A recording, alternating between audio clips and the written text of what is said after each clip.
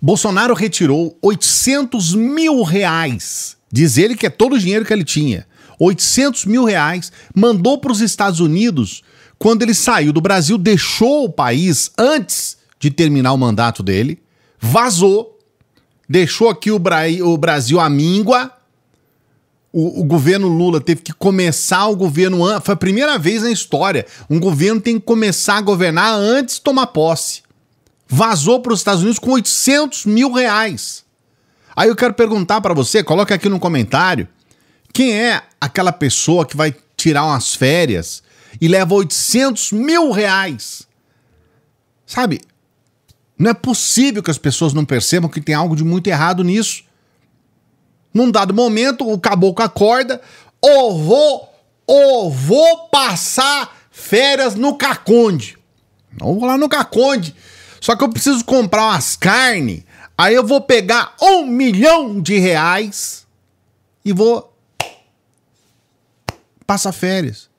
800 mil reais, para você ter uma ideia, é o equivalente a 47 anos de trabalho, mais de 47 anos de trabalho de quem ganha salário mínimo no Brasil.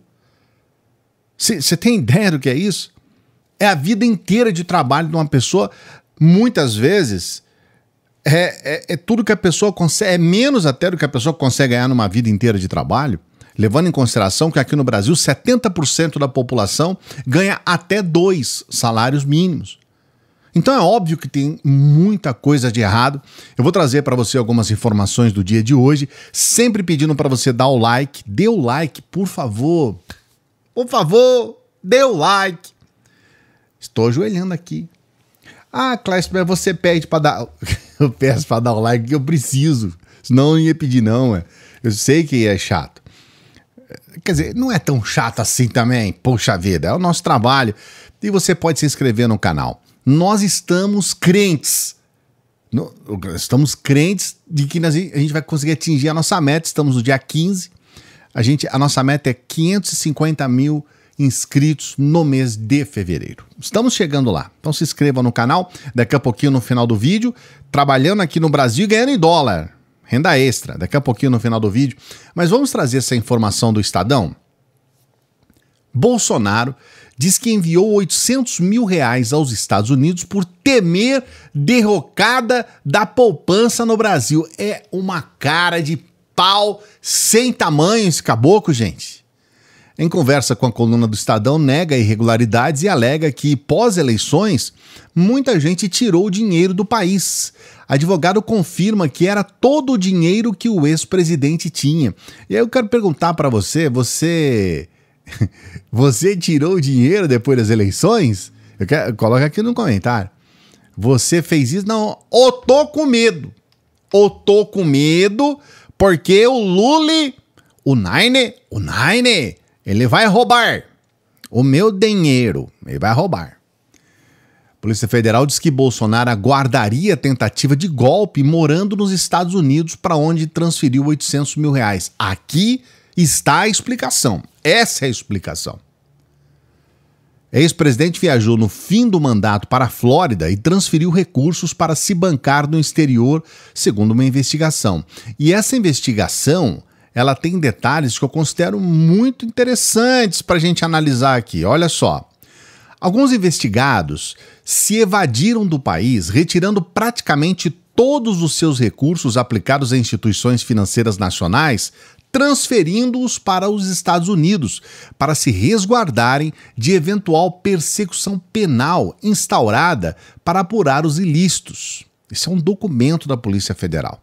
No caso de Bolsonaro, foi feita uma operação de câmbio no dia 27 de dezembro no valor de 800 mil reais e três centavos para um banco com sede nos Estados Unidos, onde o presidente possui conta. A representação a representação da polícia enviada ao Supremo Tribunal Federal menciona que nesse montante pode estar o dinheiro do desvio de bens de alto valor patrimonial entregues por autoridades estrangeiras, como no caso da venda de joias dadas pela Arábia Saudita ao governo brasileiro.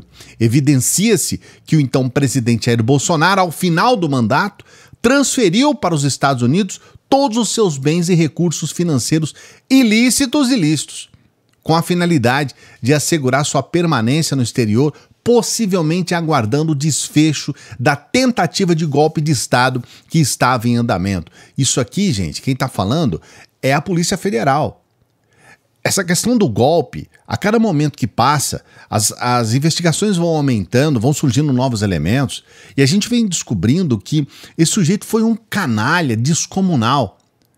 Fica mais uma vez aqui aquela pergunta: Bolsonaro deve ser preso ou não? As pessoas estão percebendo que e, esse desespero que eles estão nesse dia, nesse, nesse último domingo aí de fevereiro, é um desespero descomunal. É, a robozada, é, é, essa, essa robozada aí do Bolsonaro, né? Essa robozada do Carluxo, é, eles, eles estão o tempo todo aí falando, é diário. Eu não sei se você está aí nas redes sociais, se você acompanha, mas com certeza você recebeu alguma postagem te é, implorando para você ir lá no dia 25, para você ir lá na Paulista, porque é desespero, eles estão desesperados. E aí começam, qualquer informação, eles utilizam aquilo para dizer, não, que a, a, teve uma notícia falsa criada por uma pessoa que não tem nada a ver com nada, dizendo ah, as, as torcidas é, organizadas vão lá é, na Paulista eles, come, eles começaram a falar loucamente, não, que agora não sei o quê, que eles querem passar medo em nós e. Não, nós não vai ficar com medo, porque nós é gado. Nós é gado.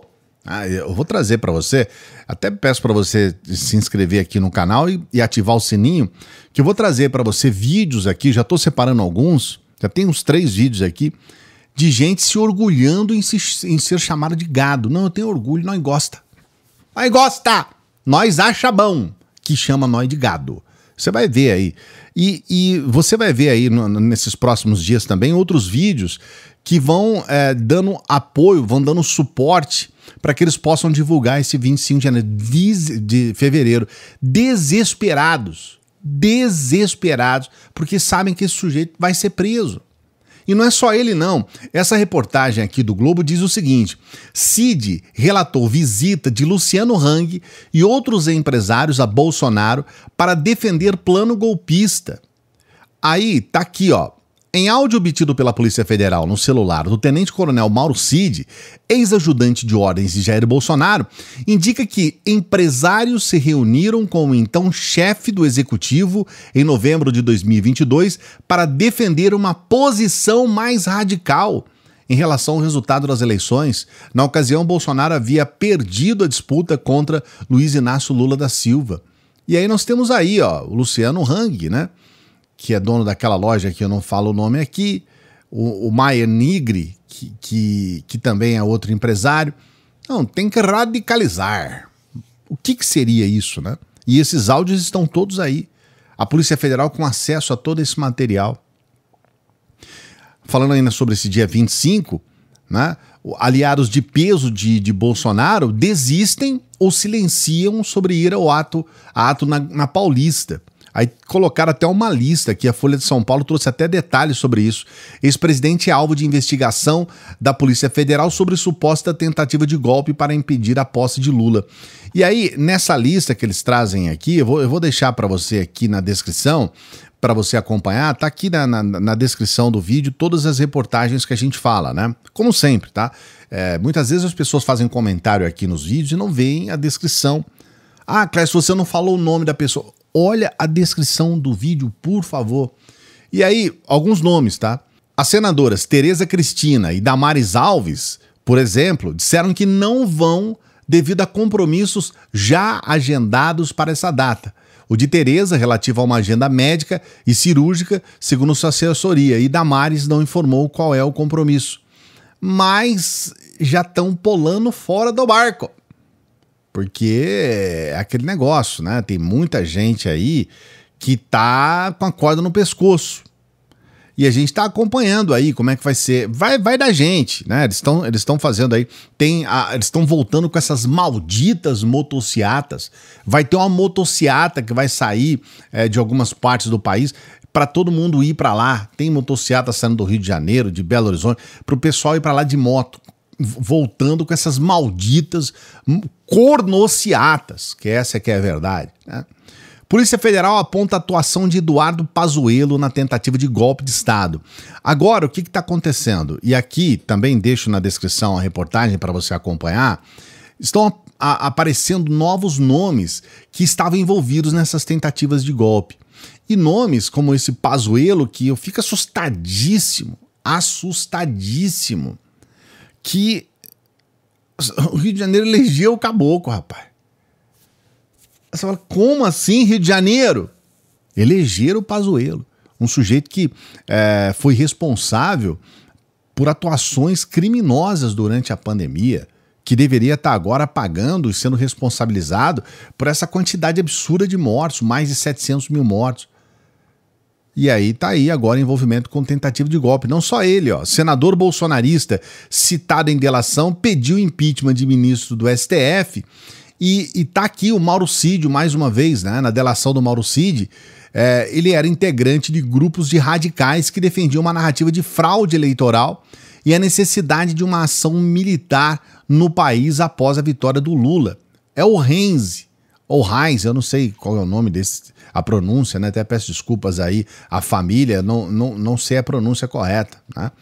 Mas eu chamo Clayson, todo mundo me chama de Clayson, então eu tenho esse, né, eu tenho esse desconto.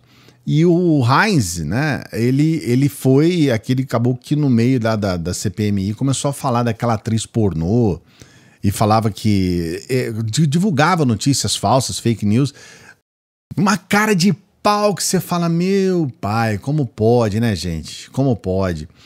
E aí nós temos essa situação de, de, dessas pessoas todas envolvidas. A Polícia Federal, inclusive, está vendo a necessidade de apurar a omissão dos comandantes do Exército Aeronáutica que sabiam, mas não fizeram nada, teriam é, resistido às investidas do grupo golpista, né? A Polícia Federal apontando: olha, cara, vocês poderiam ter feito alguma coisa, pelo menos dizer: olha, eu não vou participar, é, ou sei lá. Estão é, fazendo alguma coisa, colocar essa informação para alguém, não fizeram nada, deixaram para lá comandantes de, das Forças Armadas. E aí, nós temos aqui, para encerrar, que eu sei que é, eu estou trazendo muitas informações aqui hoje, mas assim é o canal. O que Bolsonaro fez antes e depois da reunião do plano de golpe que motivou a operação da Polícia Federal. E essa reportagem aqui eu considero ela importante porque ela traz detalhes de que aquela reunião ela não acabou ali. A gente teve a reunião, aquela reunião que nós colocamos. Se você não viu a in, vou até deixar aqui, ó, a íntegra. Uma hora e meia. Mais até. Aquela reunião ela não, não acabou ali. Aquilo foi uma reunião com todos os ministros para que a partir dali começassem a ter as ações, as ações diretas de intervenção mesmo, de, de ir atrás, de fazer a coisa acontecer, de falar, olha, é, vamos, vamos realmente colocar em prática esses projetos aqui golpistas. E aqui, numa parte, inclusive, da, da, da reportagem, diz o seguinte: no dia 16 daquele mês, Bolsonaro participou de outras duas marchas para Jesus. Já tinha participado de uma, né? Que foi a Marcha para Jesus em Uberlândia. E depois ele participou de mais duas, uma em Fortaleza, outra em Natal. Ele compareceu ainda a uma missa na Basílica de Mártires, na capital Potiguar, e um culto na Igreja Evangélica Assembleia de Deus, Rio Grande do Norte, onde ele reuniu com, se reuniu com pastores.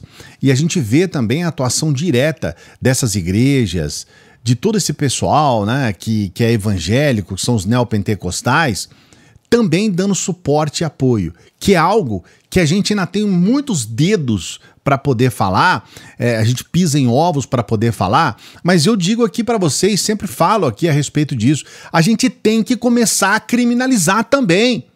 O sujeito que usa a autoridade religiosa dele, que usa a ascensão dele aos fiéis para defender um vagabundo, um criminoso. Então esses caras têm que começar a responder por isso são questões que a gente levanta aqui no canal que você, inclusive, pode discordar. Ah, Cláudio, eu discordo completamente. Tem que ter é, liberdade de expressão. Liberdade de expressão, deixa os pastorzinhos fazer o que quiser da vida, que tá tudo certo. Então você coloca o seu comentário aqui. Coloque seu comentário, não se esqueça de dar o like no vídeo, seu like é importante para o nosso trabalho, sua inscrição é fundamental. A gente trabalha todos os dias para você, sábado, domingo, feriado. O que a gente pede é isso. Se inscreva no canal, você acompanha o nosso trabalho e o nosso trabalho é feito para você com carinho, com muito esmero. A gente, a gente faz apuração de informações para você estar tá sempre bem informado, bem informada. E o que a gente pede é isso para você. Se inscreva no canal. Também pedimos para você prestar atenção quando a gente fala da possibilidade de você ter uma renda extra. Essa renda extra é um trabalho, tá? É um trabalho, você precisa trabalhar. E você pode saber como que você pode ter essa renda extra através de um mini curso que é gratuito. Para você saber, você não paga nada. O mini curso é gratuito. E eu vou deixar aqui na primeira descrição do vídeo e também no primeiro comentário fixado. Você vai entrar aqui nos comentários, é o primeiro fixado, para você ganhar esse mini curso. E aí você decide se você quer fazer ou não, se é tua praia ou não. Às vezes não é uma coisa que você se identifica, mas é, repito, é um trabalho. Você vai trabalhar aqui no Brasil e vai receber em dólar. E eu sempre peço para as pessoas que chegam no final dos vídeos para que nos ajude. Esse mês, como todos os meses, mas agora até o dia 17, né, 18 praticamente, mas a, gente tem um, um, final de semana aí pela frente, nós temos que pagar a nossa mensalidade dos softwares que a gente utiliza aqui. É o pacote Adobe, que é o software que a gente tem de edição desse vídeo, de, de imagem, né, que é aquela, aquela janelinha, né, aquela foto, a gente chama de thumbnail, que é aquela miniatura que a gente coloca, e também o do áudio, que você vê que esse áudio é muito bom. Então a gente paga esses softwares todo mês e agora a gente está precisando de oito pessoas que possam fazer uma doação de 10 reais ou mais. 10 reais ou mais. É pouco que eu estou pedindo para você ajudar o nosso canal aqui, tá bom? Nessa questão técnica aqui. E não se esqueça, você também pode ser membro aqui do nosso canal, membro do nosso Apoia-se, pode ser um apoiador, uma apoiadora do nosso Apoia-se. Dê essa força pra gente. A gente está aqui, é um trabalho de mídia independente, é informação de qualidade para você, boas reflexões. Dê, dê essa força pra gente, vê essa possibilidade de você fazer as doações e ser membro aqui do nosso canal, apoiador do nosso Apoia-se. Até daqui a pouco.